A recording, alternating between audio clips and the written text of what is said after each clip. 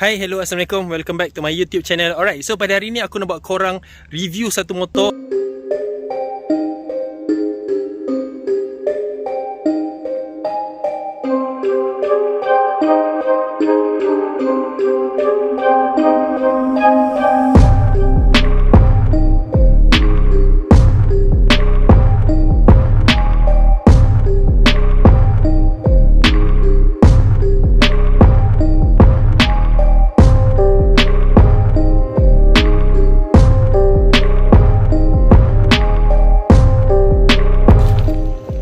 Alright, so geng, inilah dia motosikal Yamaha LC EFI ataupun lebih dikenali sebagai Yamaha LC V8. Motosikal ni mempunyai uh, engine single overhead cam, single cylinder, 4 lejang.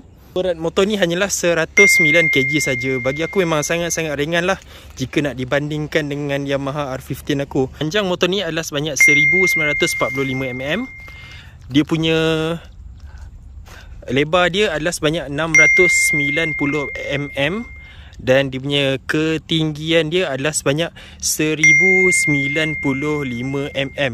So motosikal ni memang sangat-sangat sesuai untuk ditunggangi untuk orang yang uh, berbadan kecil ataupun berbadan tinggi lah. Okay, kuasa maksimum yang boleh dihasilkan daripada motosikal ni adalah sebanyak 9.3 kW at 8000 RPM dan torque dia adalah sebanyak 12.2 Newton meter of torque pada 6000 RPM. Tapi kalau korang dah buat stage sekian-sekian tu nanti dia akan jadi lebih padat lah. Itu aku tak nak cover benda tu. Mungkin Atif akan cover benda tu ataupun Awi boleh tolong cover bab dari segi performance tu.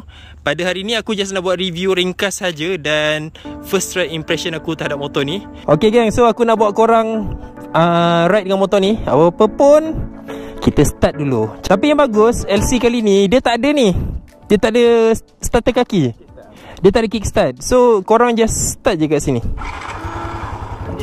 Injection. Oh nampak tak? Lembut. Dia nak start pun rasa lembut. Alright. Okay so Jom kita Aku bawa korang pusing-pusing sekitar sini lah. Sebab motor ni tak boleh nak lenjan pun Sebab motor ni masih lagi dalam pantang eh. Alright Okay let's go Bismillah.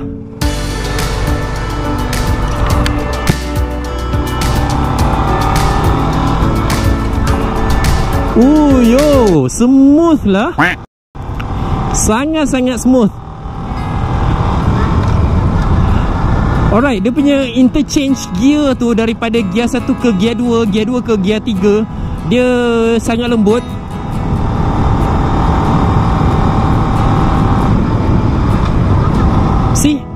pun lembut. Memang dia punya interchange gear tu memang okey lah. Dia lembut sikit.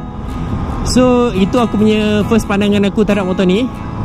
Dan motor ni kalau korang boleh tengok Uish Uish Uish Nimble weh. Oh Memang sangat-sangat lembut. Eh lembut lah. Memang sangat-sangat ringan. Ini kalau kita menceluk-celuk dekat highway ni Memang memang tak menjadi masalah lah. Sebab motor ni sangat-sangat ringan kan Alright.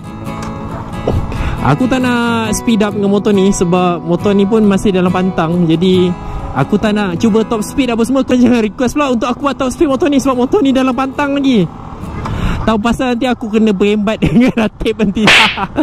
Alright okay. Suspension wise Aku boleh katakan um, mm, Okay.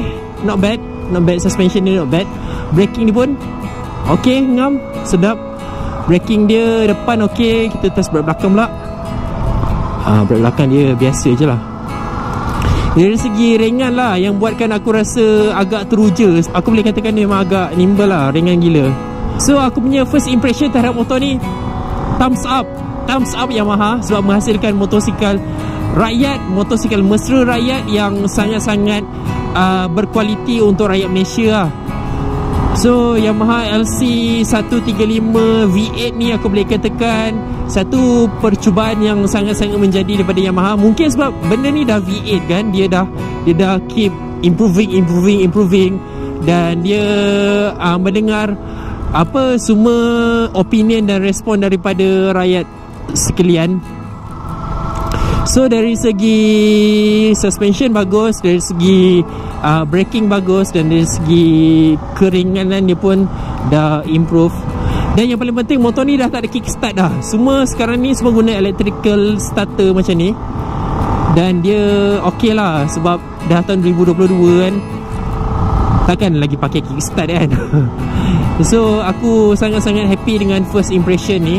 Aku tadi by the way tadi ada test dekat highway Sebenarnya dalam perjalanan pulang Aku dengan Atip daripada kedai motor dekat kapal Selangor tu Dekat Kelang tu Hujan turun dengan selebat-lebatnya weh. Aku sebenarnya dah record dah video ni awal. Aku dah buat first impression aku. Lepas tu aku ada bagi feedback aku lah. Motor yang baru keluar kedai ni. Tapi apakah daya lepas aku jam atas motor ni hujan turun dengan selebat-lebatnya. Apa nak buat? So tak ada pilihan lah. Aku terpaksa pergi ke Cyberjaya Record another video And then sajikan kat korang jadi apa pendapat korang terhadap motosikal Yamaha LC135 FI 2022 ini? Dia mengatakan motosikal ini adalah motosikal versi ke-8 dan ada juga yang mengatakan motosikal ini adalah motosikal version ketiga yang di faceliftkan. Seperti yang kita tahu sebelum ini Yamaha LC135 menggunakan sistem carburetor pada motor mereka. Kan tetapi pada tahun 2022 ini Yamaha telah menukarkan sistem carburetor tersebut menjadi sistem fuel injection. Dengan penukaran daripada sistem carburetor menjadi sistem fuel injection, maka terdapat sedikit perubahan daripada harga asal motosikal LC sebelum ini.